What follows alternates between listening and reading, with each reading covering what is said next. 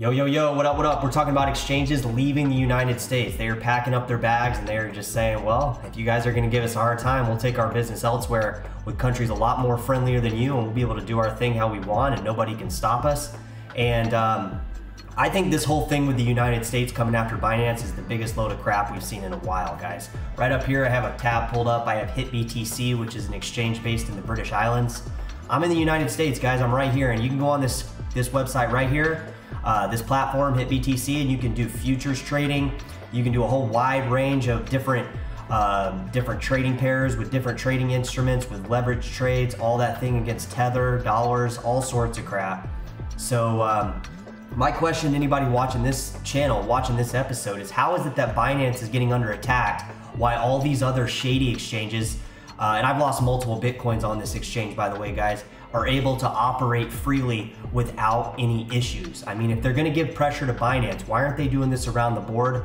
Uh, Bittrex recently this week has said that they are just packing up and leaving. They're like, okay, well, you know, um, sorry guys, we're, we're out of the US. They're giving it too much of a hard time and uh, we can take our business elsewhere and not have these type problems. So it's exactly what Bittrex did today, guys. And I wouldn't be surprised if we start seeing a large exodus of exchanges out of the United States because the more regulatory pressure that is put on these exchanges, the harder it's going to be for them to stay afloat, stay in business, and keep up with this changing regulation.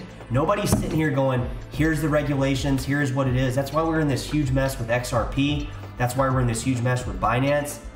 And basically, right now, the CFTC is suing Binance right now because they're saying that Binance has basically been listing a whole list of unregistered securities and basically, this is a load of crap, guys. Binance has gone through and achieved more licensors, more licenses in a variety of. They have the most licenses out of any exchange in the world. No other exchange has as many uh, licenses and um, um, accreditations as Binance has. And Binance, up till this point, has been the most trusted exchange known to man.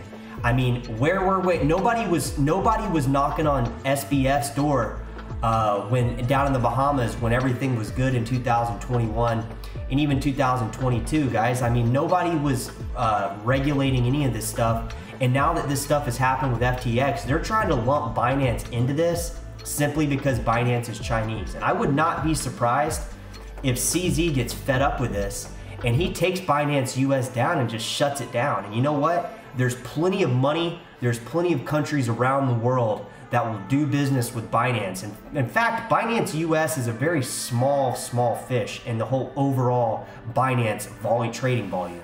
So a lot of these exchanges are going to say, you know, screw you guys. If you guys are going to give us a hard time, we could easily take our business elsewhere. And there are a lot more crypto friendly countries that will embrace and, and welcome uh, this kind of technology into their country. And if, if the US is set behind on this, so be it.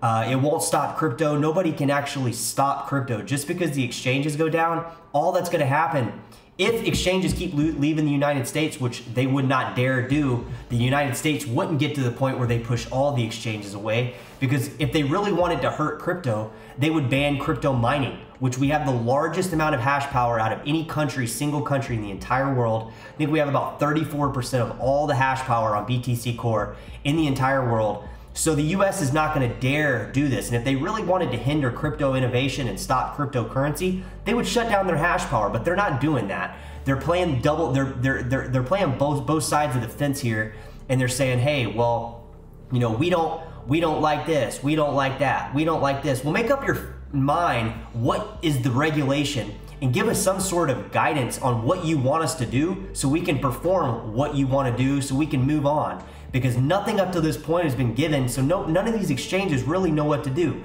They Binance has gotten all the licensures. Uh, there's multiple exchanges that have gotten every single license to operate here in the United States, and it's not enough. It's still not enough, and it's never going to be enough because the, and deep down root core of how the governments and the Fed work is they and the CFT, CFTC and the SEC and all these freaking clowns work is they want to basically try to make it as hard as possible. It's just like they did with solar energy. It's just like they did with electric cars. All these technologies have been around for hundreds of years, guys. I mean, you can go back and look at it yourself. I'm not going to sit here and and, and try to convince you of it. The, the United States is trying to control profits.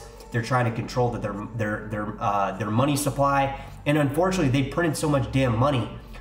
Crypto is just going to run wild, guys, and there's not going to be any, any any way that they can stop it. The more problems we get out of the United States, the higher crypto prices will go, and the higher hash power will go on BTC Core to the United States because at the end of the day, they're not going to give up the hash power on crypto because if they give up hash power on crypto, that is really losing the power to crypto. And they wouldn't dare do that. They just want to try to push this narrative on you guys so you guys will be believe it. Get out of your positions and then have all these partnerships with these these exchanges come in and scoop up your positions and sell it back to you at a later point. That's exactly what the bank's done. That's exactly what they did in 2008, 2009 with the, the housing crisis. The banks swooped in and uh, picked up, cleaned up all the mess, and then resold it to everybody else 10 times over again. So this is just an update on guys and why I think the crypto exchanges should leave the United States. They shouldn't sit around and tolerate this crap because the world market will dictate these prices and push these prices north regardless. Let me know what you think, guys. Drop it in the comments. Just a little update on, um, you know, this stuff with Bittrex and, uh, you know, some of this stuff going on with Binance. So I hope you're having a good weekend. Talk to you later.